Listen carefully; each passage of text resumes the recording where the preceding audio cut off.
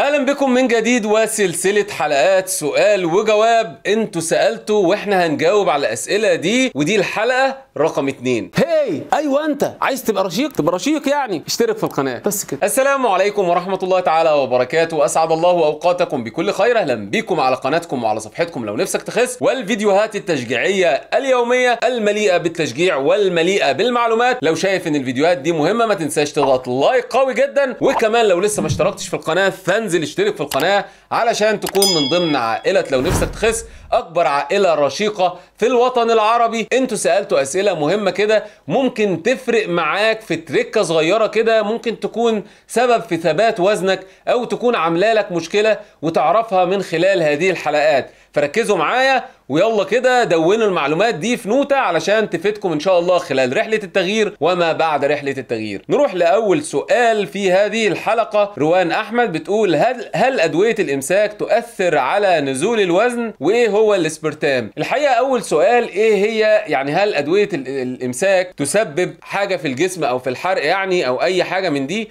الحقيقة في بعض الأدوية تحتوي على السكر. زي أتذكر كده دواء اسمه اللاكتيلوز ده عبارة عن سكر صافي يعني. وفي برضو دواء اسمه الأجيلاكس تقريبا برضو الحبيبات بتاع بتاعته عليها برضو طبقة من السكر. لكن في أدوية بديلة كتيرة تقدر إن أنت تستشير الطبيب فيها على إن هي الأدوية دي تكون ما فيهاش أي سكر زي نقط كده وزي برضو آه، حبوب كده تقدر إن أنت تاخدها وتحافظ على جسمك من الإمساك. لكن الإمساك نفسه فهو عدو الدايت وعدو الجسم بشكل بشع.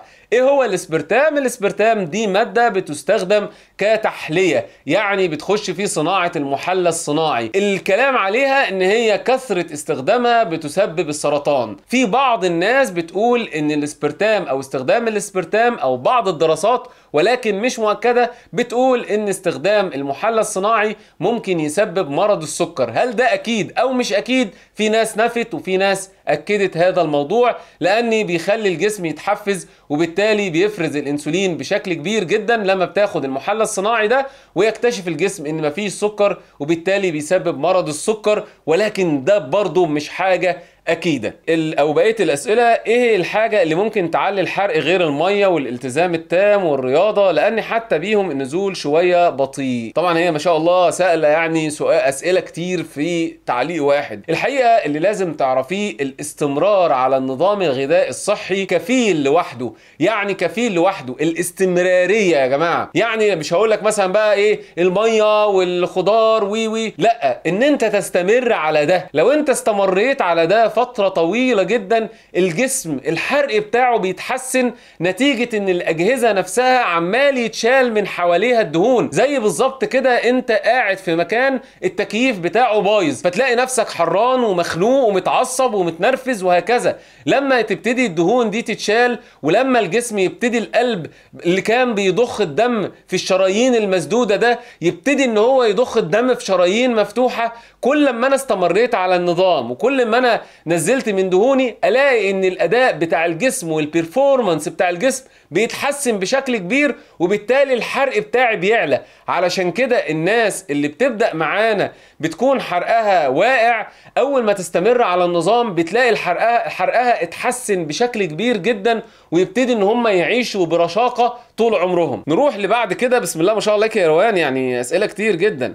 بتقول أنا الحمد لله أول مرة أعمل دايت كويس في حياتي وألتزم واللي هو بتاعكم. الحمد لله. بدا بدأت من التحدي الأول لمسابقة يا ناس الحقوني. تعبت من دهوني وما كنتش بوزن كل أسبوع قررت إني أوزن في آخر يوم في التحدي السادس. والحمد لله خسيت 6 كيلو. فسؤالي هنا أنا ليه مش ملاحظة تغيير في الشكل ممكن يا روان إن أنت يا إما وزنك كبير قوي يا إما وزنك صغير قوي. وبالتالي ممكن يكون كان عندك مية زيادة وممكن تكوني وصلتي أصلا للوزن المثالي ويمكن إن أنت كنت- داخلة معانا المسابقة وأنت عندك مية زيادة في جسمك. وبالتالي ابتدى الموضوع ما يبقاش ملاحظ قوي. فأنت برضو مش كاتبة الوزن بتاعك كان كام أو المعلومات عندك ناقصة. بتقول أنا ماما نباتية وعايزة تبدأ معاكم بس اللي أعرفه إن البروتين النباتي مرتين في الأسبوع وهي مش بتاكل لحمة ولا دجاج ولا الحاجات دي. فبتعمل إيه؟ وإزاي تمشي على النظام وهي عندها الضغط؟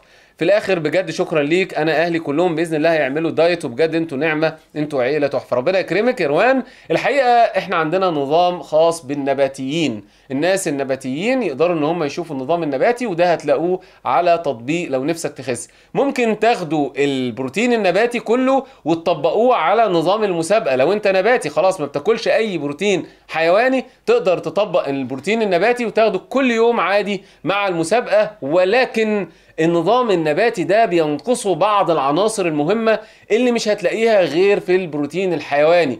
فلازم ترجع لطبيبك علشان يكتب لك بعض المكملات الغذائية علشان تعوض النقص اللي مش هتلاقيه في البروتين النباتي. ودي نصيحة يعني. نروح لجنة ربي بتقول السلام عليكم ورحمة الله وبركاته. بنتي عندها 8 سنوات ووزنها 44 كيلو وطولها 124 أنا عملت لها نظام غذائي صحي وخسيت وخست 5 كيلو خلال 15 يوم هل ده غلط؟ إني أمنع عنها حاجات زي السكر الشوكولاتة الحلويات.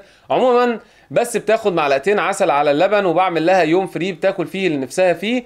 فهل ده غلط ولا أعمل إيه؟ بالله عليك تجاوبني يا باشمهندس. ربنا يكرمك ويجازيك خير. يا رب وكل عام وحضراتكم بخير. أسرة لو نفسك تخس.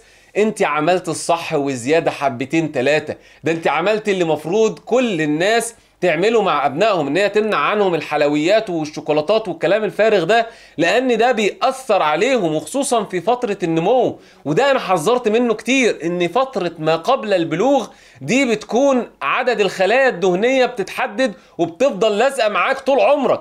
بمعنى أصح إن أنا لو أنا دلوقتي وأنا صغير قبل سن البلوغ قعدت آكل وأعك وآكل شوكولاتات فالخلايا الدهنية بتاعتي تبتدي إن هي تكبر في الحجم فتوصل لحجم معين. بعد كده ما تقدرش تكون أكتر من كده. تبتدي تتكاثر تعمل خلية تانية وخلية تالتة وخلية رابعة وهكذا وتفضل خلايا كتير تتكاثر لغاية سن البلوغ. وأول ما نوصل سن البلوغ يا معلم تبتدي يقول لك أنت عندك 10 خلايا دهنية هم دول اللي هيكملوا معاك بقية حياتك.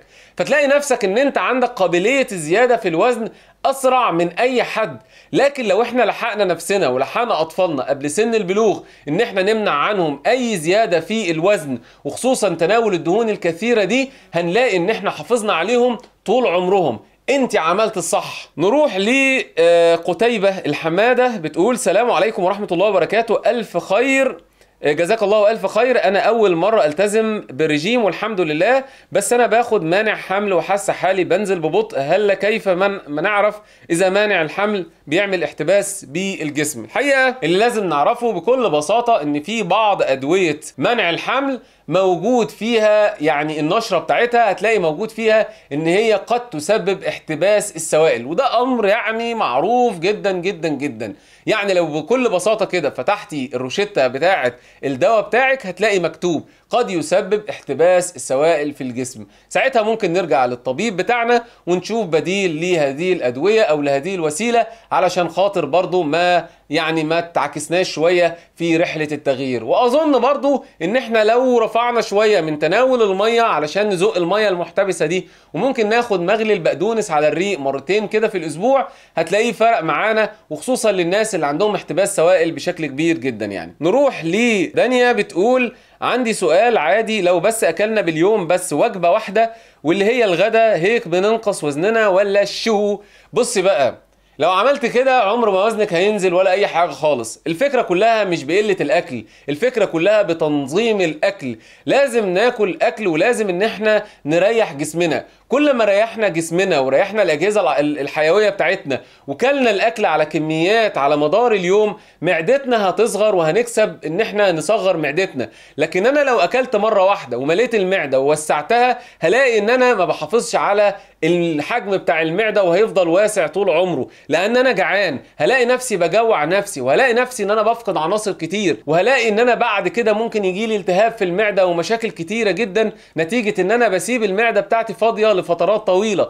اذا لازم ناكل على مدار اليوم من خمس لست وجبات فطار غدا عشاء سناكس ما بينهم هتلاقي إن أنت جسمك بينزل بشكل صحيح وهتلاقي نفسك إن أنت ما بتجوعش وكمان هتلاقي نفسك إن أنت بتستمر فترات طويلة جدا على الدايت لغاية ما توصل لهدفك. مش هتزهق ابدا قبل الوصول للهدف. ذكر واستغفار بيقول جزاك الله خيرا وبارك فيكم جميعا. سؤالي هو ليه حضرتك مش بتذكر الفلفل الأخضر في النظام؟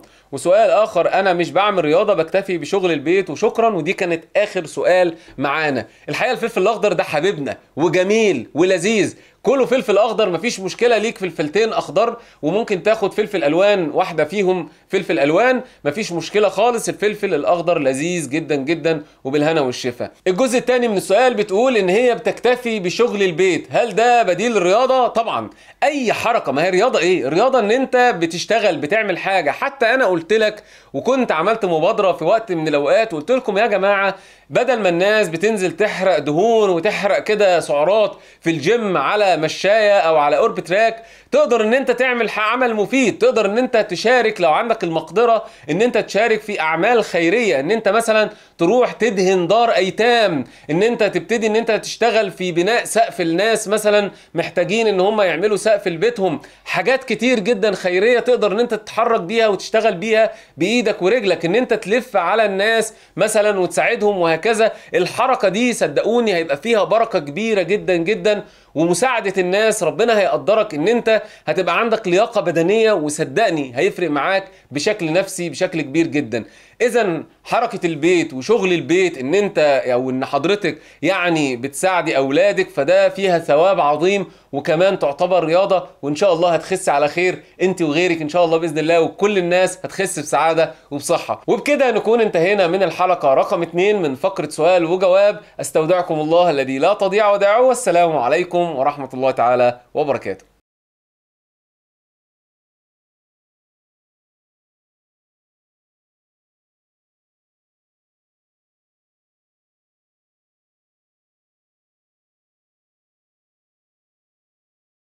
في طرق كتيرة جدا للحصول على أنظمة لو نفسك تخس. أسهلها إن أنت تدخل على جوجل وتكتب لو نفسك تخس بس.